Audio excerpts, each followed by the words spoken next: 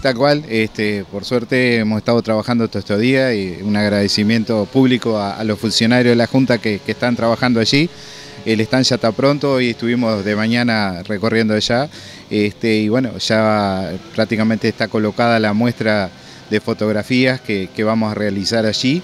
Este, las, señoras que, que son las que ponen del, del grupo Fotoclub de Tacuarembó, que son todos fotógrafos acá de Tacuarembó. Están las cianotipias, si mal no recuerdo el nombre. Y bueno, es una muestra interesante, gente de Tacuarembó. Este, y bueno, nosotros dándole eh, para adelante a todo lo que sea lo nuestro.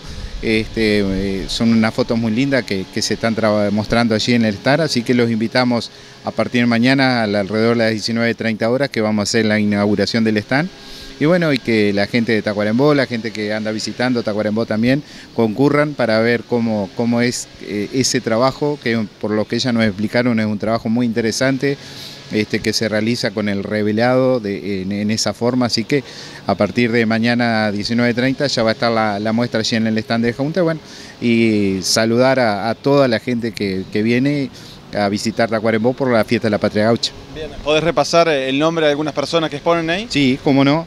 Eh, Lucia Alderete, Cecilia Freitas, Marlene Ferreira, Gretel Guerra, eh, Gladys Santana, Jennifer Silva, Zulma Suárez y Cristi Vázquez. Esas son algunas de las personas que, están en este grupo y que van a estar exponiendo allí en, la junta, en el local de la Junta Departamental. Así que durante toda la Patriaucha que la gente se acerque y visualice eh, estas obras. Sí, tal cual, este, para nosotros, ya te digo, es un honor que ella nos hayan hablado para estar allí y bueno, este, le dimos la oportunidad y más cuando, ya te digo, es gente de Tacuarembó que hace ese gran trabajo y bueno, nosotros dándole para adelante también y bueno, estar junto a ellos eh, toda esta semana este, para que, vean lo que la obra de ellas y que se expanda a nivel país también. Y seguramente también para la comunidad en general es una instancia también importante para que también dialogue con algún edil, conocer algún detalle más del funcionamiento de la Junta. Sí, tal cual. Este, nosotros ahí este, hay mucha gente que no sabe el funcionamiento, digo,